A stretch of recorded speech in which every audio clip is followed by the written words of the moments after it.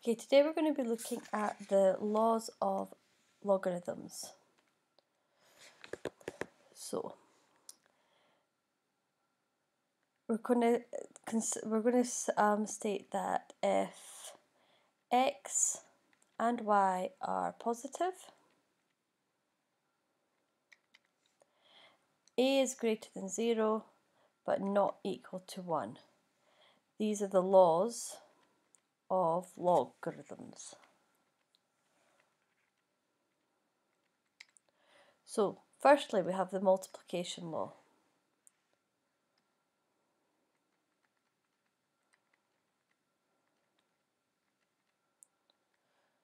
which states if log a xy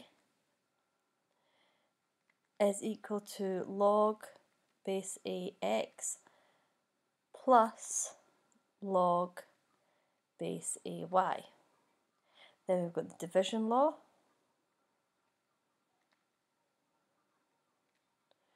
So the log a base a x over y.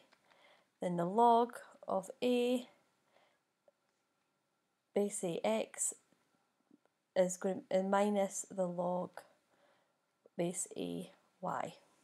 And finally we've got the power law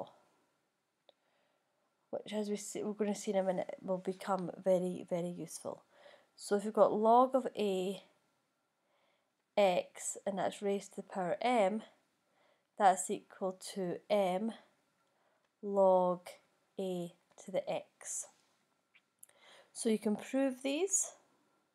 So the log of a x y is the same as saying the log of a.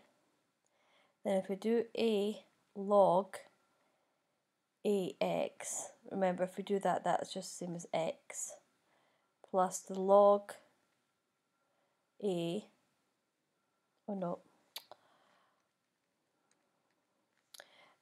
a log, sorry, a That's the same as saying the log of a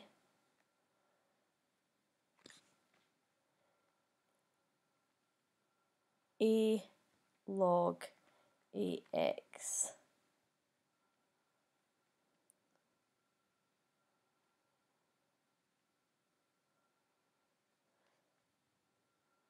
Oh, it's meant to be times, sorry. Last time, this is plus.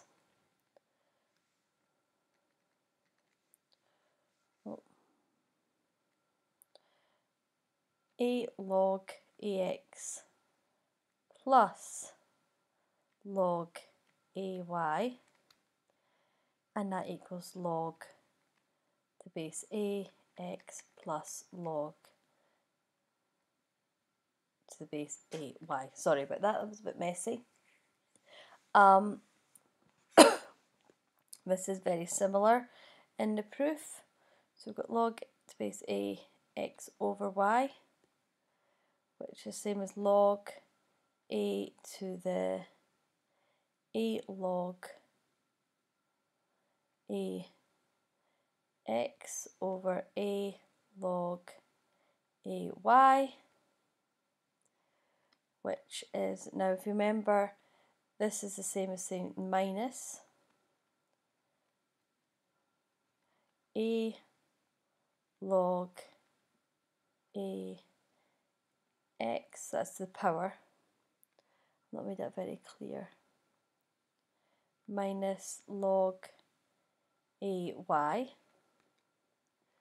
which is the same as log a oh, x minus log a y. And then the power law proof. So we've got log a x power m, same as is equal to log a. Now you've got a raised to the power m log a x.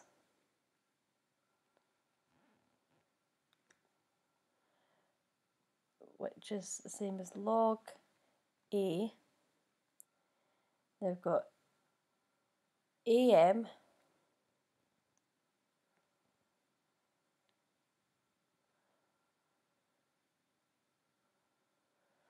well the M's of minute, that bit there is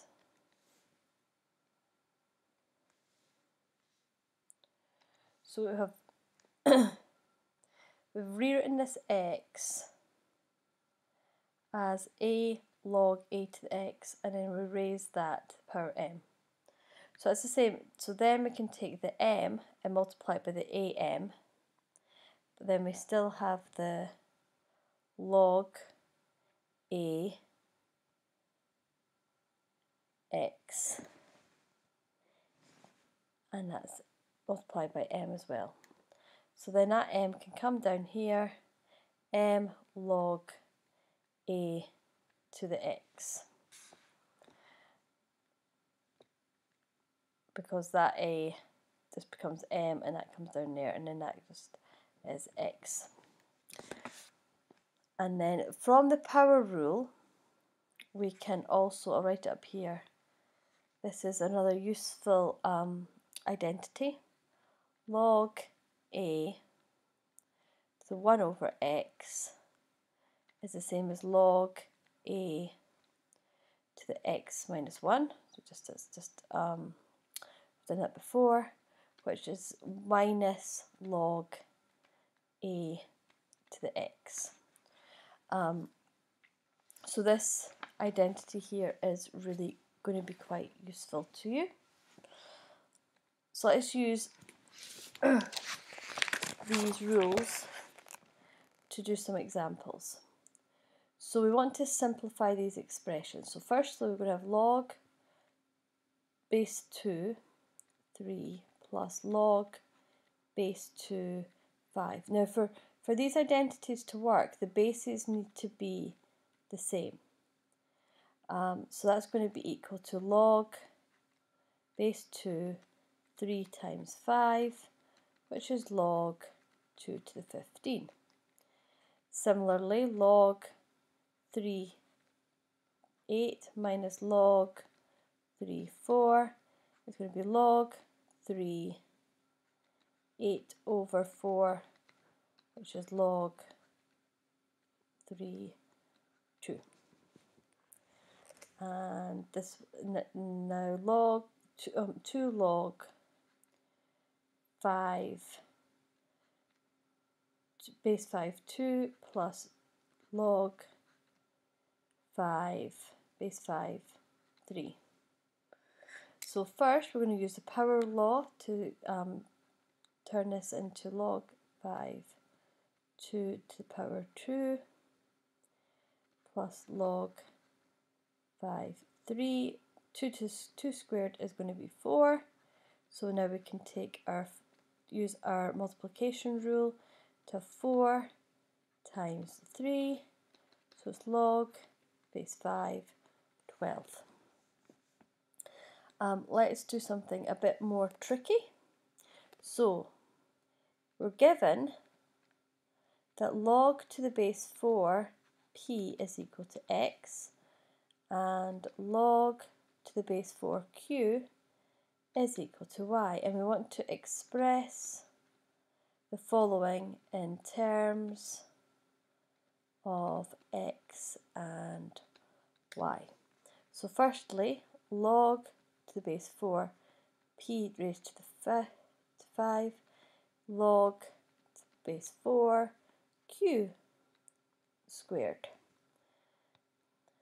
So we'll use the power law. We'll take the 5 over here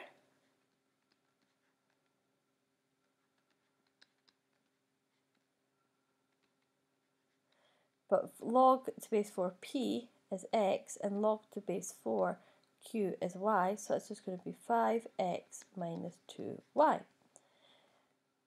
Next, we'll do log 4 base 4 um, square root of p plus 5 log base 4 cube root of q. So this here So p, square root of p is the same as p raised to the half. So to take the half out here with the power law, and this here, um, cube root of